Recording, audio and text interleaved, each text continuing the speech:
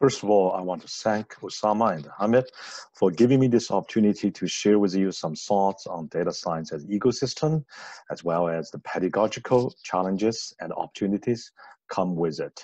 I also want to thank many authors of Harvard Data Science Review who have provided me with much food for thought. And several of them are in today's meeting and you will hear from them directly.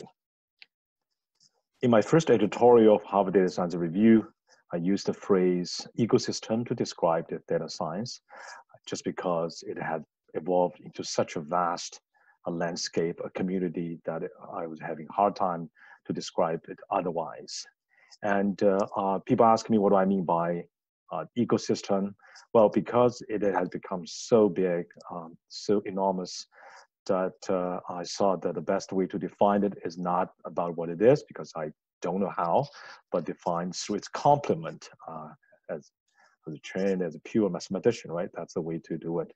And so I thought it would be easier to describe what it is not. And uh, I guess many of you would agree with me. Data science is not just machine learning or just statistics. Data science is not all about prediction. Data science not only about data analysis. Data science is not a discipline that sits merely within the STEM field.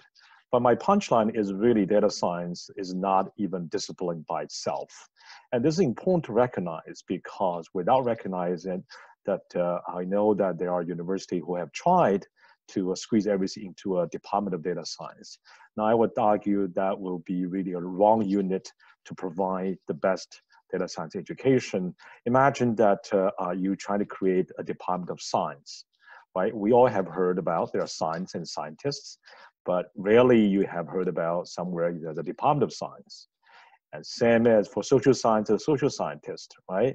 Rarely you hear about the Department of Social Science, but there are Department of Sociology, social work, right? That's but that's a branch of it. Similarly, there are humanities and humanists, but few Department of Humanities. Right. The point I want to make here is data science really become a collection of uh, disciplines that all have a common shared goal, but they really uh, they complement each other, but they are not really a single discipline. Now, um, I very much like uh, Jeannette Wing's uh, description about what the data science is. I'm very glad that Jeannette today is serving on the panel, so you will hear from her directly. And uh, but Jeannette, uh, in the first uh, issue of the Harvard Data Science Review, Jeannette published her very succinct description of data science, the data science, the study of extract value from data. Now, although it's easy to say, the process itself is very long, and this is where you, you need a multiple um, disciplines to contribute, right? There's the generation, collection, processing, storage, management, analysis, visualization, interpret interpretation, but there's even more beyond that, right? There data reuse, there conception, uh, you know, how do you uh, conceptualize what data means? There are all the issues, their privacy and ethical concerns throughout. And this basically shows, give you a, a very quick uh, indication of how vast landscape of data science is.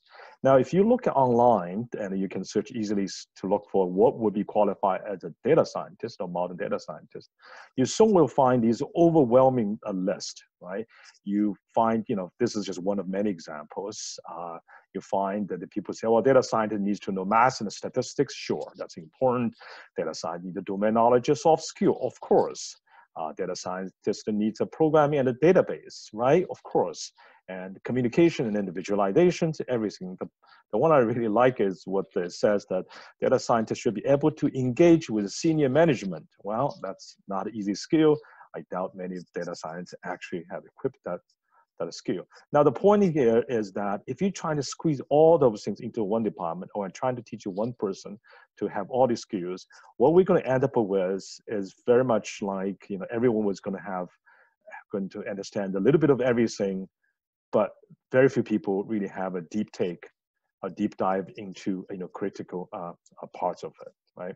So I was using this analogy. Some of you may have heard this phrase called a tiger mom, right? This means that these parents because they want their kids to do everything, play piano, you know, study well, do swimming, everything. So I basically trying to remind people, let's not make data science a tiger parents. Let's don't try to, uh, you know, trying to teach everything just to uh, one person wanted one person to to really know it. We really need teamwork, and this is a point uh, is made very clearly uh, by uh, Professor Davenport, who's going to, uh, I think we can talk very soon, and on this very topic published the Harvard Data Science Review. So I'm not going to uh, steal his thunder, but his point is we really need to, to have teams.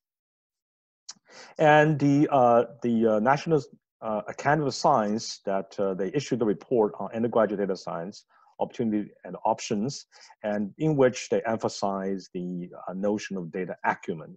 And uh, uh, again, Harvard Data Science Review in the first issue interviewed two of their co-chairs and conducted by my co-editor on data science education, Rob Liu here.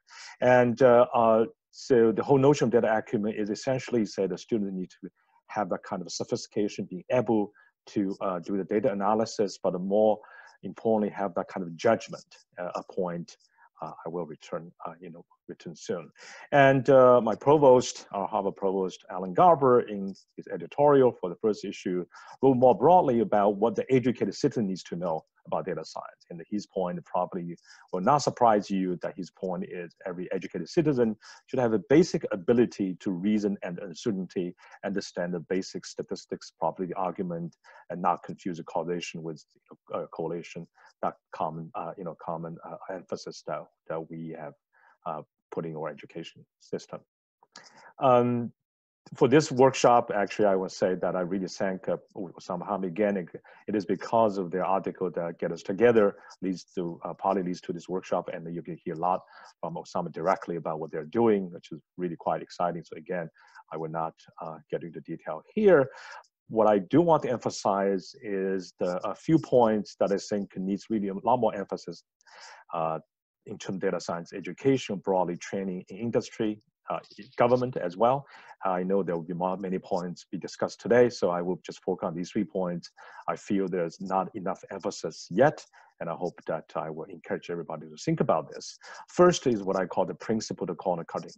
Anyone has done the real data science, not like just teaching sitting in the, in, in the academic world, but you know that in real life, there's a time constraint, there's a cost constraint, you need to deliver results, you always have to cut the corners. Uh, no data science project can be ever perfect, right? And uh, I don't even know how that can be because there's always assumption made, there's always something go wrong. But when you have resource constraint, time constraint, you need to know like what would be the corners you can cut first that, uh, you know, that you cut these corners will have least damage. And depends on how much resource you uh, you have, right? Uh, you you know you made the model may not be a linear regression, but hey, if I want to do something very quickly, I'll run least square. I might get something giving me a general indication. When I have a little more time, I may do a polynomial or do something fancier.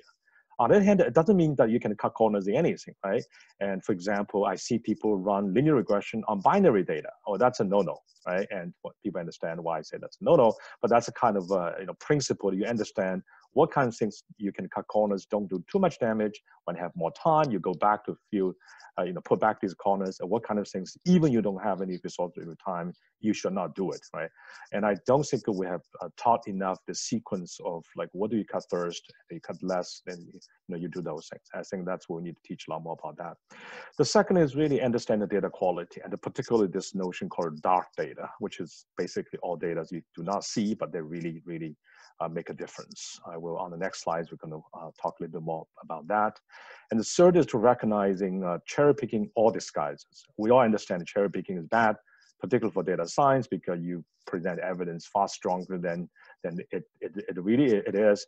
But we actually also engage all kinds of uh, cherry picking activities ourselves. I'm going to have a long list.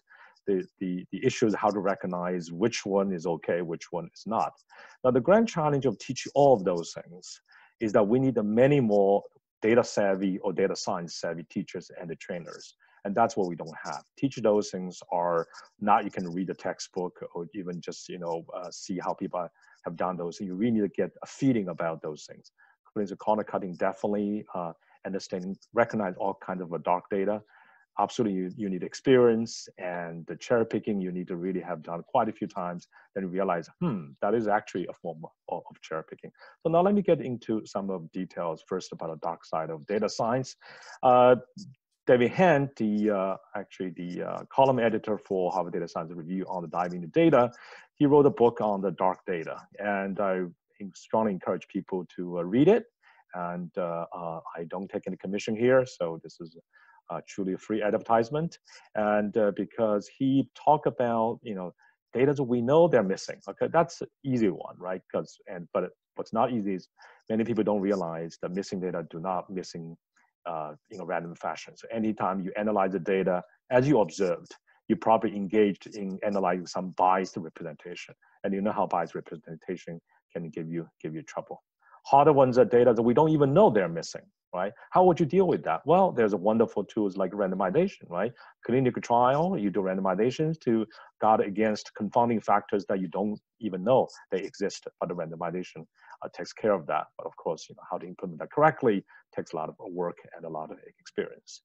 Uh, we do this all the time, right? Just choosing some cases, well, you know, these things looks supporting my theory, well, that's really troublesome because there are lots of other cases you don't see or you actually hide them that actually give you a very different stories, right? Because of time, I'm not going to go on uh, with every one of them, but um, David actually wrote 15 different kinds.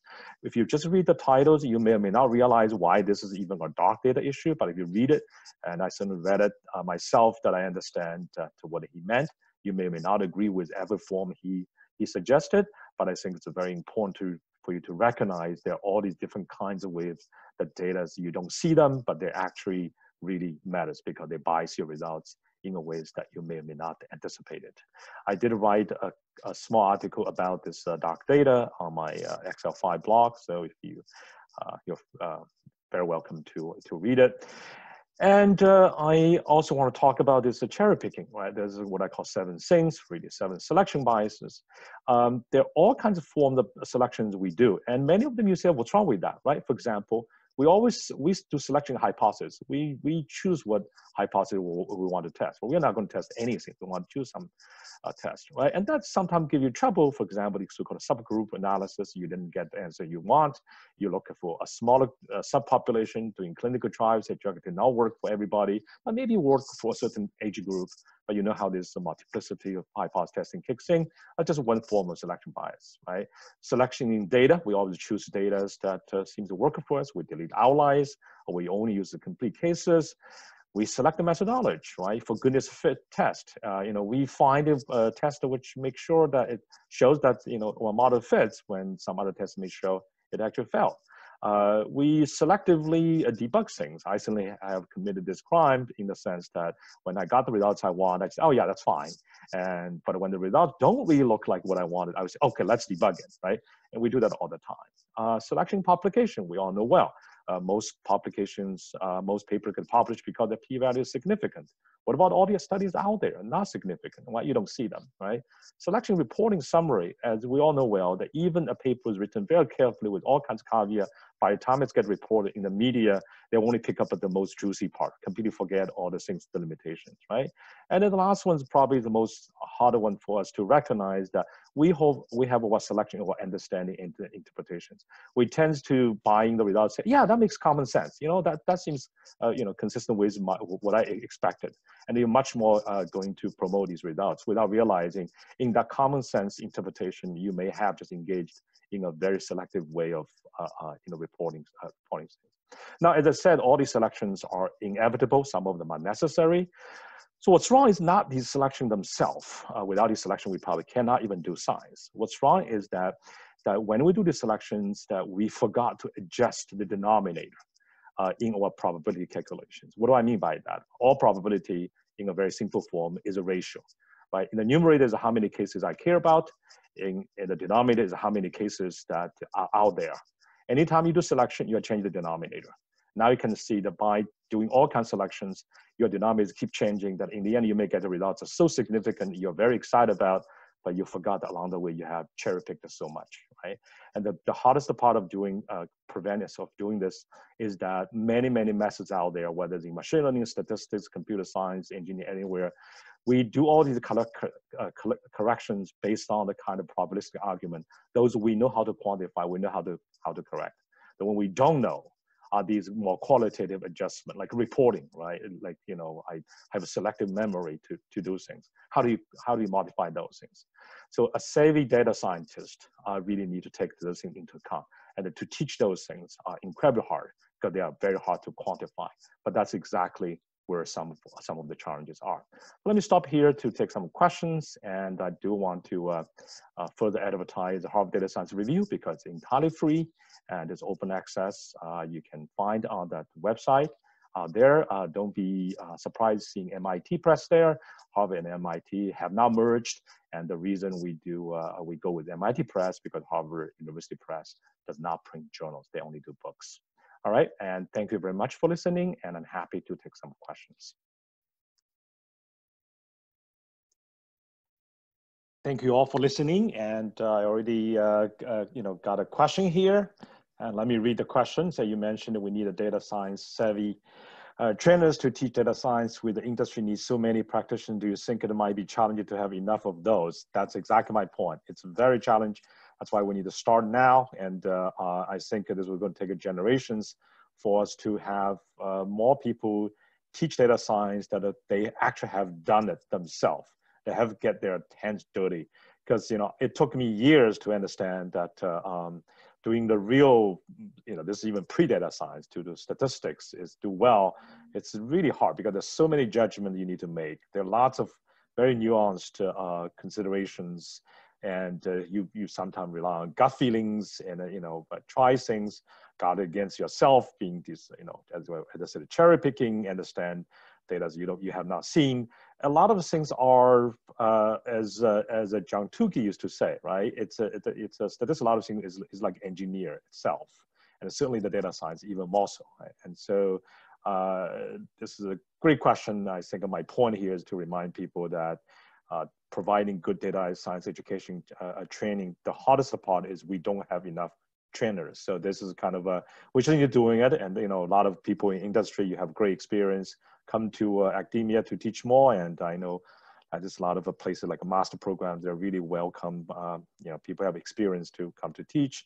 And I think there need a lot more uh, partnership between academia, industry, government. Let's don't forget lots of government agencies that struggle with, with you know, exactly uh, these same, uh, you know, same issues about, about training people. So that was a part of the reason uh, the Harvard Data Science is set up, trying to have a conversation between industry, government, and academia. So thank you for that question.